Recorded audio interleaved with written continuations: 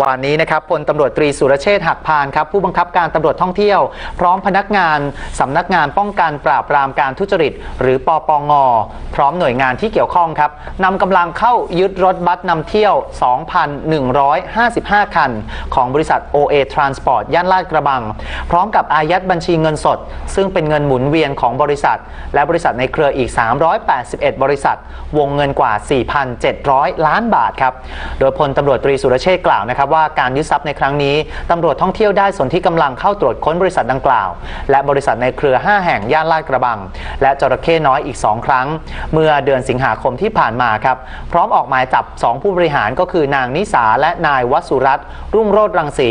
ซึ่งทั้งสองคนนั้นได้เข้ามอบตัวกับพนักงานสอบสวนสอนอพญาไทแล้ว ในช่วงปลายเดือนที่ผ่านมา และเพื่อไม่ให้กระทบกับภาพลักษณ์การท่องเที่ยวนะครับก็ได้แจ้งไปยังสถานทูตจีน เพื่อแจ้งนักท่องเที่ยวที่กำลังจะเดินทางเข้ามาให้ได้รับทราบนะครับแล้วก็ประสานงานกรมการขนส่งทางบก ให้จัดรถโดยสารมารับนักท่องเที่ยวที่ตกค้างแทน เพราะความเห็นของปปงเนี่ยนะฮะได้สั่งหลังการอายึดทรัพย์เบื้องต้น ว่าให้ทางบริษัทนั้นต้องหยุดให้บริการ พร้อมกับบริษัทลูกทั้งหมดด้วย ส่วนทรัพย์สินที่ตรวจยึดไปก็จะเก็บรักษาไว้ที่สถานีรถไฟ Airport Link เพื่อให้กรมขนส่งทางบก ตรวจทะเบียนตัวถังรถ ว่าเป็นไปตามกฎหมายหรือไม่ เนื่องจากการตรวจเบื้องต้นนะครับพบว่ารถที่ไม่ได้จดทะเบียนมีรถที่ไม่จดทะเบียนเนี่ยนะฮะปะปนเข้ามาให้บริการนำเที่ยวด้วย เพื่อรอให้ทางบริษัทนั้นไปยื่นหลักฐานในการที่จะต่อสู้คดีแล้วก็ยืนยันนะครับว่าการดำเนินการปราบปรามทัวร์ศูนย์เหรียญทุกขั้นตอนว่าโปร่งใสแล้วก็เป็นธรรมต่อทุกฝ่ายด้วย นอกจากนี้นะครับที่สำนักงานป้องกันและปราบปรามการทุจริตพลตำรวจเอกชัยยะยังเปิดเผยถึงผลการตรวจสอบ เส้นทางการเงิน แล้วก็การทำธุรกรรมของบริษัท OA Transport จำกัดนี่นะฮะให้กับบริการรถบัสกับบริการ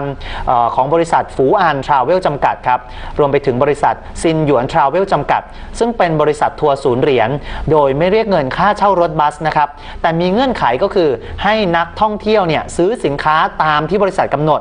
ซึ่งมีราคาสูงเกินจริง และศาลก็ได้ออกหมายจับกรรมการในบริษัทดังกล่าว ซึ่งเป็นชาวจีนนะครับที่ลักลอบสวมบัตรประชาชนและคนไทย ฐานเป็นสมาชิกอ้างยี่ไปก่อนหน้านี้ครับที่ประชุมคณะกรรมการการธุรกรรมการเงินปปงก็ได้จึงมี